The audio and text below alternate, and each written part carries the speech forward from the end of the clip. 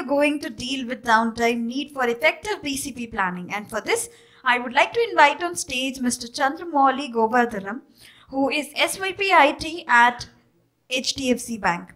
Giving a brief introduction, Chandramouli is a technology leader with 17 plus years of experience across various aspects of product value chain, including 7 plus years of technical leadership experience.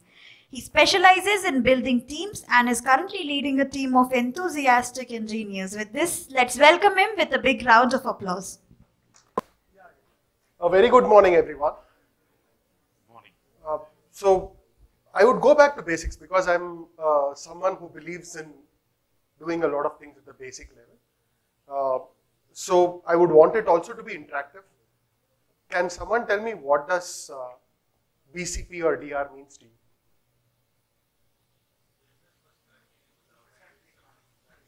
Correct. So, it should continue without failure.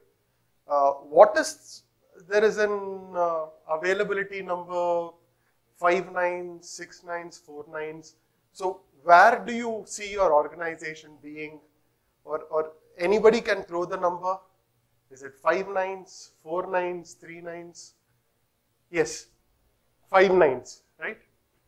Anyone else would want to volunteer and okay. Why I ask this? Thanks for uh, giving the answers.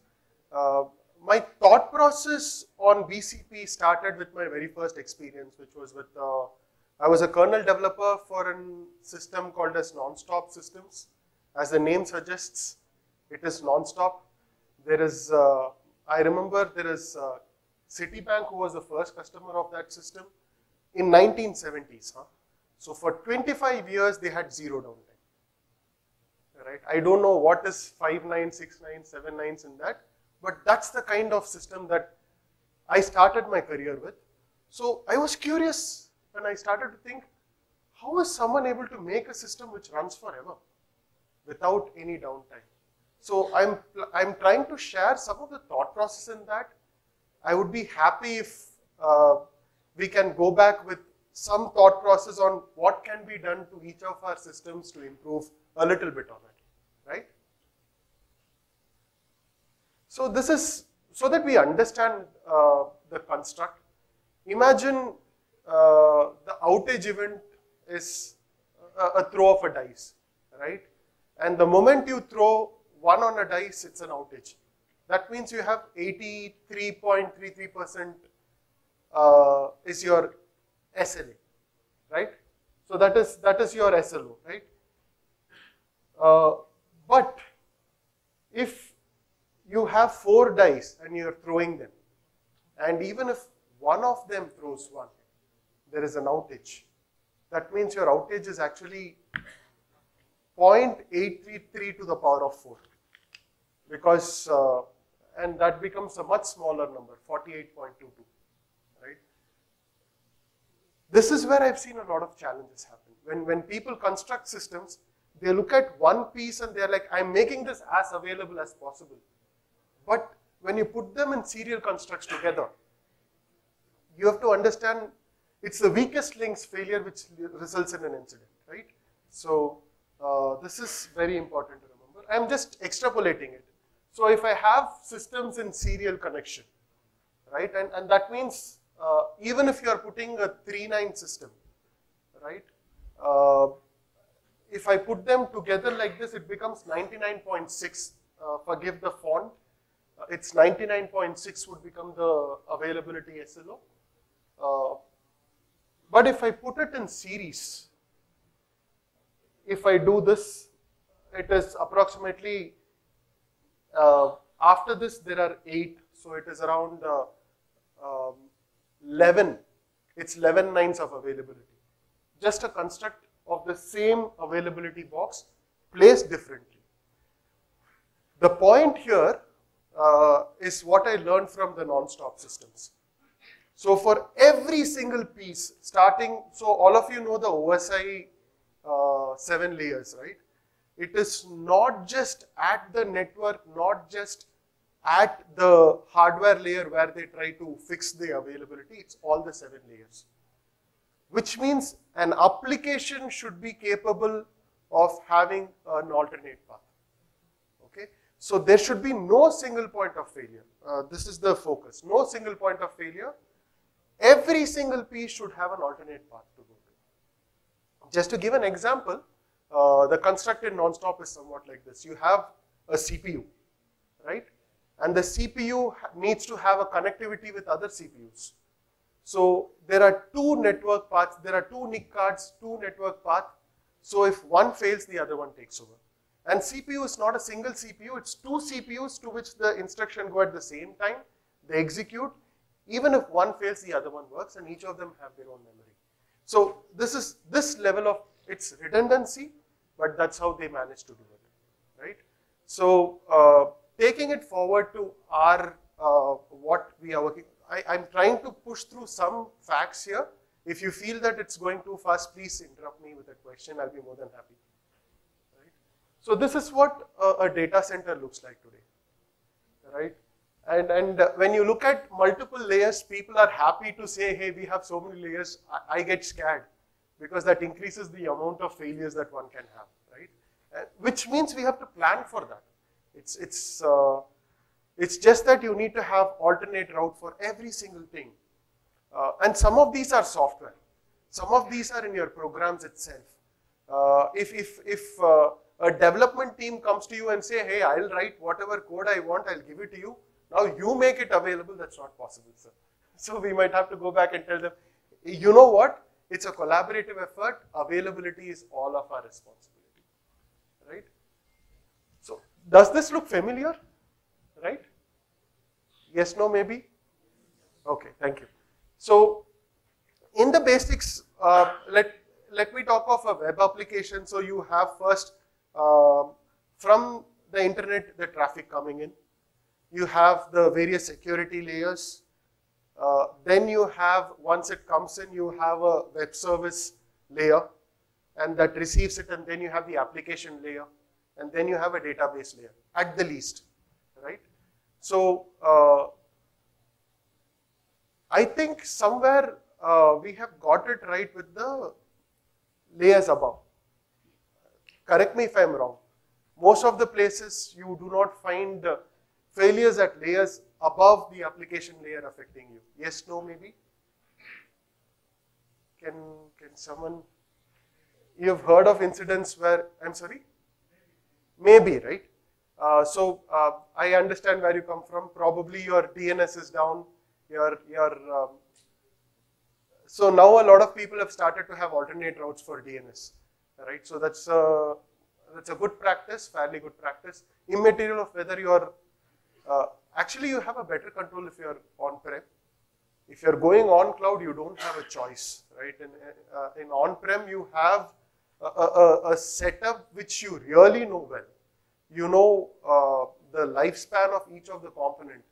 Uh, to give an example, we, we were trying out one of the software uh, called as Aerospike. We were trying to do a POC with it. We put it on cloud. We had uh, uh, uh, thought of various availability pieces. We designed it. It was just a POC, right? we did a replication factor of three, and we had three racks. Uh, I'm going into details. Uh, again, I would repeat, if you feel that I need to break it down further or explain some pieces, let me know. Right? I want it to be interactive. I'm trying to put in facts for that reason. So we had three uh, as a replication factor, and we started to use. There was an unexpected failure, and we we started to wonder why is this failure happening. It was not a failure of a component, but uh, the speed at which from the uh, write cache, it was going into the disk because that particular component of its lifespan degraded, that slowed down, so the buffer was building up, right? And the write started to fail. Though there was redundancy, had the node failed, it would have worked, right? So this was a beautiful scenario for us to understand, hey, which means that is another factor for us to note right? When, when the buffer builds, it's better for me to kill it and bring it up. So uh, what I'm trying to drive at here is it's very important for you to understand each of the component, how it works, how are you using it, and build together, build together a business uh, continuity plan. There is another term which is floating. I'm going on to another topic, which is uh, called as active-active versus DCDR. Any of you can help me understand what is uh, active-active or any of you using active-active kind of setup? Yeah, yes please.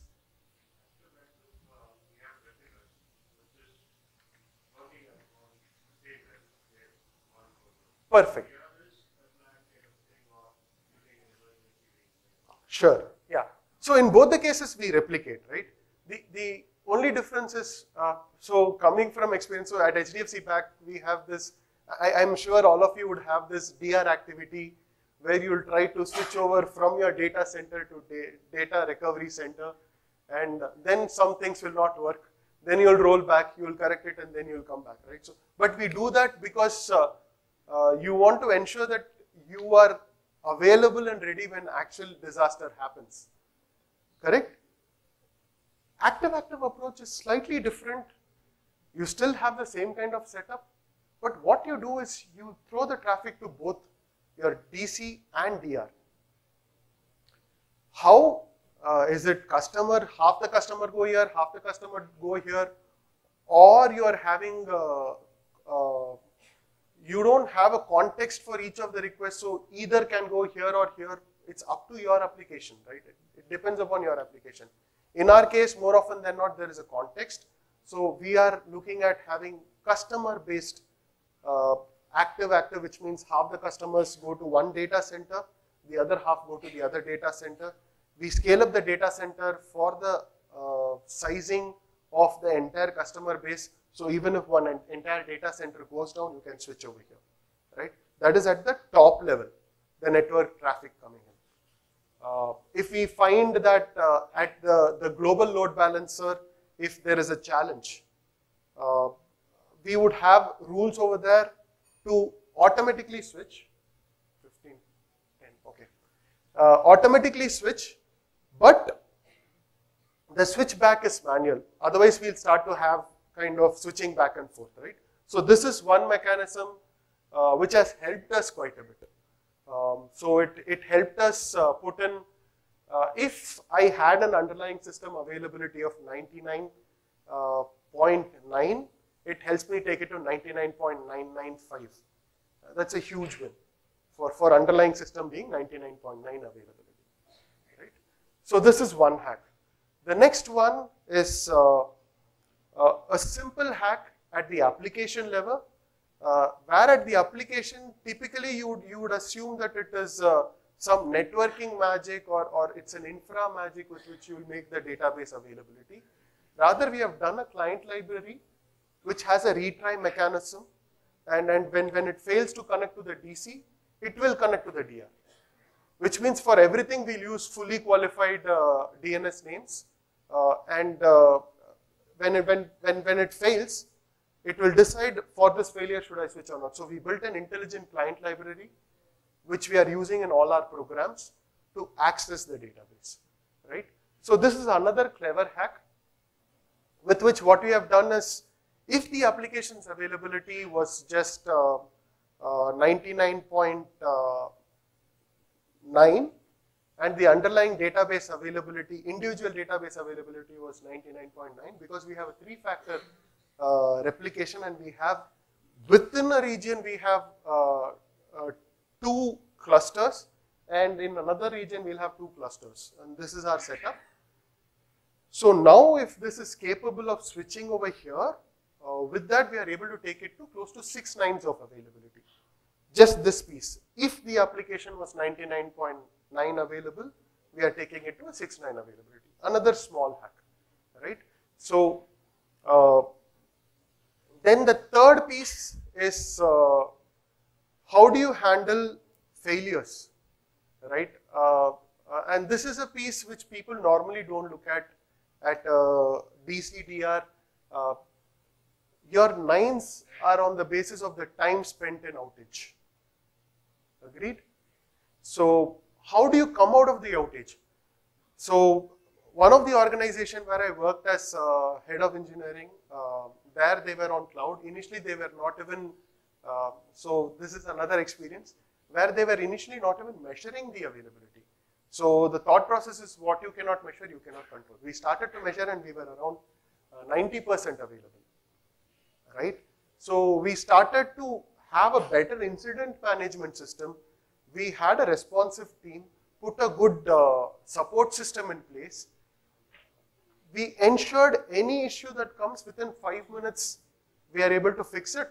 There are exceptions, right? We, we, we had a good SLA with which just, just fixing that piece from a 90% availability, we became 99% available, right? So that's, that's a huge gap. Now, that is another piece which is also important in this. What is your uh, day two operation setup looking like? Uh, uh, typically, people don't put all of these pieces together, so I'm giving the pieces uh, for you to think through. There is one last uh, piece that I would wish to talk about, and after that, I would be happy to take questions. And this piece is more of, we spoke of the application layer, we spoke of the support system uh, which is happening, and the, the, the, the, most important aspect is uh, the definition of SLO, right? So more often than not, people, I am facing this trouble today at the organization, they say every service should be uh, responding in one second. That is its uh, SLA. Now that's the question, why? Right? So you need to have, so there is, uh, anyone can tell me what is an SLI or SLO or SLA? Is there a difference between the three? Yes, yes sir. Agreement and service level objective. Thank you.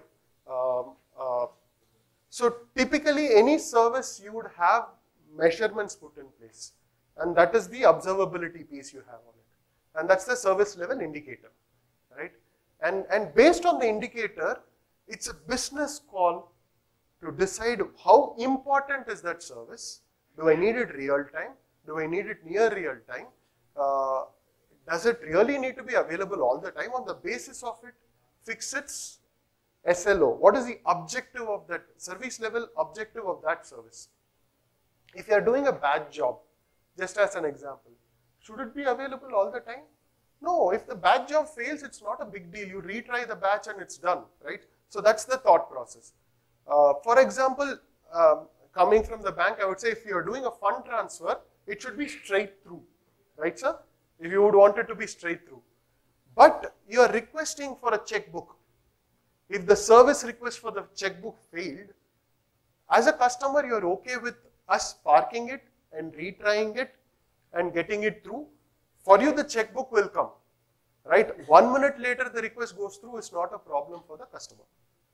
Right? So there is a there is a thought process on how you define the service level objective and hence the SLA of the service. So this is a third important piece to piece to ensure the availability is up. And and there are a few more things which are important here. For example, every piece you need to look at and figure out if there is a um, uh, single point of failure. For example, you might have uh, a risk engine component if you're a bank or, or, or a service which is using something like that. You need to think, what if the risk system fails? How do I get the transaction through, right? You might have an external system you depend upon. Um, a, a, clear, uh, an example is I, the, one of the prior organization which I worked with, uh, we were using Gmail and we were a service on top of Gmail, right? Sometimes the Gmail API fails, thank you. Gmail API fails. Given that it fails, how do you take it forward and take it to closure? Uh, there is a thought process needed in there and if you put that thought process, I'm sure the architects I'm sure the development team will come up with a fix, but it's important to identify these and address them. Just to sum up, uh, the way you can achieve, some of them we discussed, one is having failover at every layer, uh, identify the single point of failures and ensure that uh, you don't have a serial connect, but at every layer you have a parallel connect so that you increase the availability at each layer and then get the definition right for SLO for each of the service. And most important thing is, uh, and this is something that I truly believe in, uh, you can keep uh, planning for perfection every day and not do anything. Start with a good plan and improve it to perfection.